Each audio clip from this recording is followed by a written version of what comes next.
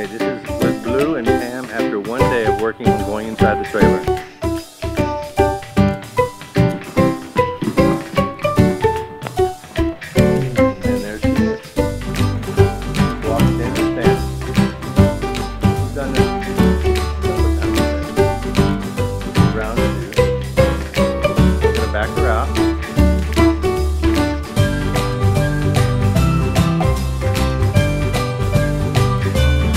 Good girl, Blue.